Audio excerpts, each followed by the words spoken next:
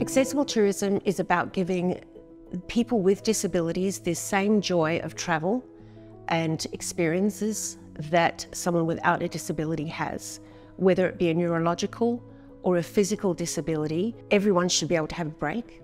Uh, and apart from that, it actually makes good business sense. I'm Kerry Williams. Um, I'm the founder of two websites, Accessible Accommodation and Accessible Experiences. The reason I started the business was because of my mum.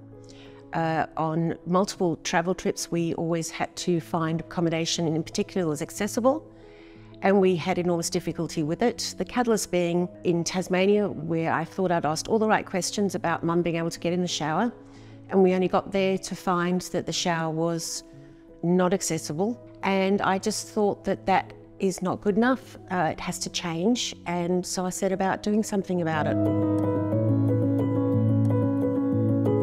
19% of Australians have a disability, and 25% of Australians are retirees. As they age, their need for accessibility grows.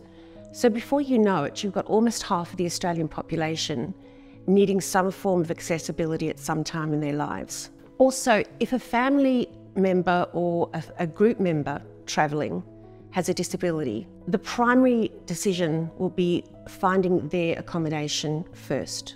So by harnessing accessible tourism, you're not only helping people with disabilities have a great stay, but you're also uh, attracting a larger audience of groups and family members. It can be surprisingly simple to do, and you don't have to do it all at once. And even if you just start, for example, ensuring you have ramps where there are steps. A very small step is a mountain to a person in a wheelchair. And so if you even consider those points of how to access your the building or your premises, you're already giving consideration to people with disabilities.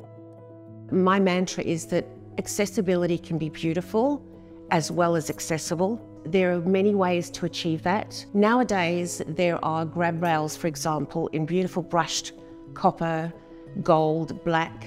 You can make it really stunning. And uh, it does not need to remind a guest that they are in a hospital environment people with disabilities spend disproportionately higher number of times in hospitals than people without.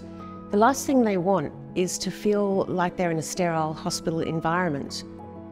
For a business who wants to start, uh, I've got a couple of tips.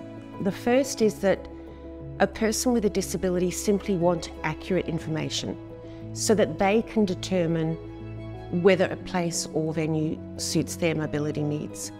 The second thing I discovered is that businesses are often too fearful to uh, say they're accessible or even promote themselves on their websites as accessible for fear that they might not be good enough and for fear they might have a bad review. It's often a misperception. When I have a look at their premises, I'm surprised that in most cases they can and only minor modifications are needed. As a business, you have the potential to bring a joyful, travel experience to someone with a disability, as well as harnessing the revenue this booming sector brings.